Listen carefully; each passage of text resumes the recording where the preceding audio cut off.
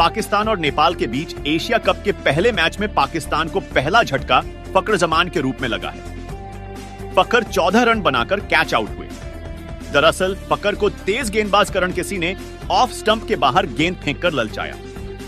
यह एक ऐसी गेंद थी जिसको खेलने के चक्कर में पाकिस्तानी बैटर विकेटकीपर को कैच दे बैठे।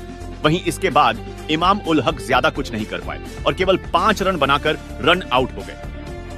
इमाम उल हक को रोहित पौडेल ने अपने रॉकेट थ्रो से रन आउट कर दिया। सोशल मीडिया पर रोहित पौडेल के थ्रो की खूब चर्चा हो रही है। दरअसल, सातवें ओवर की पहली गेंद पर बल्लेबाज इमाम ने ऑफ़ साइड में कवर की ओर शॉट खेलकर सिंगल लेने की कोशिश की, लेकिन वहाँ फील्डर रोहित मौजूद थे। रोहित ने तेज़ी दिखाई और रॉकेट थ्रो करके नॉन स्ट्राइक एंड के स्टंप को उखाड़ दिया। बल्लेबाज इमाम ने डाइव मारकर खुद को रन आउट होने से बचाने की कोशिश की, लेकिन थ्रो इतना कमाल का था कि बल्लेबाज अपने क्रीज से काफ़ी दूर रह गया।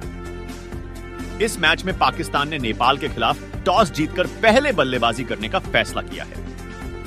बता दें कि पहली बार वनडे में नेपाल और पाकिस्तान के बीच मैच हो रहा है। वहीं दूसरी ओर एशिया कप में पहली बार नेपाल की टीम खेल रही है। आज के इस मैच में आप किसे सपोर्ट कर रहे हैं? अपनी राय हमें कमेंट करके ज़रूर बताना और वीडियो अच्छी लगी हो तो एक लाइक करके ज़रूर जाना।